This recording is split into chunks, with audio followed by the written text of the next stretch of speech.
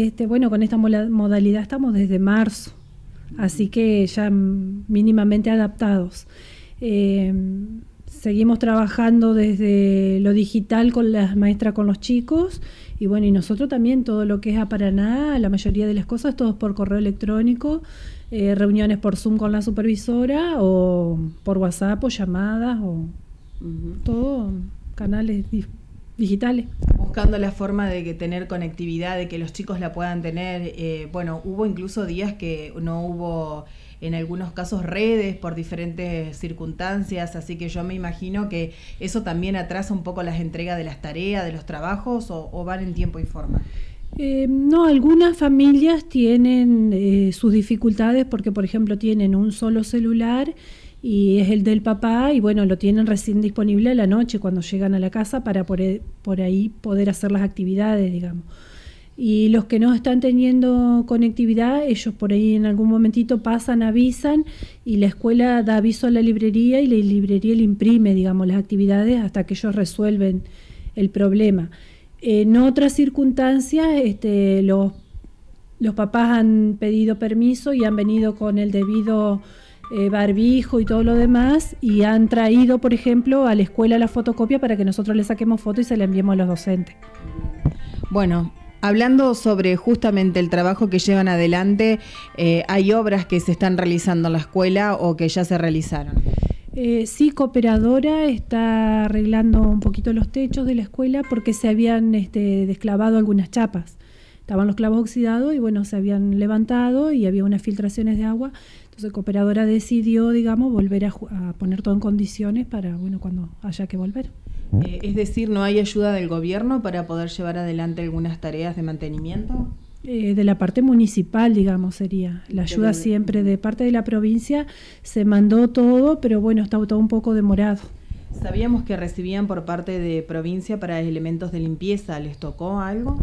Eh, sí, vino una partida de limpieza eh, de, de, dinero para los productos. De dinero para los productos de limpieza, que bueno, ya fue rendido, digamos, la oficina pagadora, sí, para el colengel y la bandina, para mantener las instalaciones en orden, porque acá se siguen dando viandas, digamos. Claro, ahí quería llegar también. ¿Cómo es el sistema que están empleando en estos momentos? ¿Cuánta gente viene a retirarla? ¿Cómo se organizan con el comedor? Y bueno, la gente viene a partir de las once y media eh, con barbijo y trae los recipientes y las cocineras les van dando. En este momento hay 37 eh, viandas. Mucho poco en realidad otras situaciones, años o como yo la verdad no estaba en la institución, digamos. Este, Tengo entendido que antes eran más. O sea, estoy desde el primero de octubre acá y no te sé decir, digamos, de años anteriores, claro. Bueno, esto justamente los ha llevado a reprogramar eh, algunos eventos, porque como no se sabe cuándo se vuelve a clases. Eh, sí, lo que se reprogramó fue el bono contribución de la moto que habíamos salido eh, adjudicados, digamos, eso se, se prorrogó para diciembre, digamos, o sea, sigue en circulación el bono es de una motocorbe en 110 a 200 pesos. El señor Román, Luis Román llevó algunos números a la venta y bueno, acá en la escuela tenemos y algunos docentes, ordenanza, cocineros que también están ayudando a vender. Bien. ¿Querés aprovechar a decir algo más? No, mi agradecimiento es a todos los docentes y al personal de cocina, al personal de maestranza que más allá de todo esto están haciendo todo lo que pueden, sobre todo las, las docentes. Y desde acá nosotros estamos también llamando a la familia, comunicándonos y ofertándole eh, distintas posibilidades para que los chicos puedan seguir con sus actividades de manera virtual. Eh, si no tienen virtualidad, bueno, le estamos ofertando ahora la parte del municipio, donde está el nido y el centro comunitario, que nos llegó una notificación, digamos que ellos están disponibles con copias o con la conectividad, que solo estamos haciendo a través de los grupos de papás circular, que en algún momento si ellos llegan a necesitar, que nos avisen, que nosotros estamos dando, digamos, el aviso de quién sería la familia que iría a usar las instalaciones o a buscar material, digamos.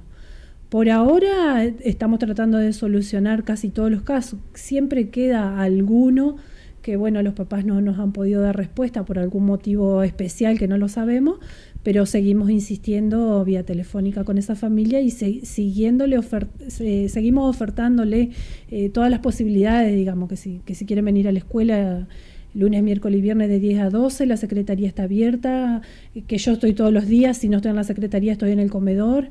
Es como que le, ofertamos a las, a las familias eh, todo lo que, que esté a nuestro alcance para que los chicos puedan seguir trabajando desde su casa.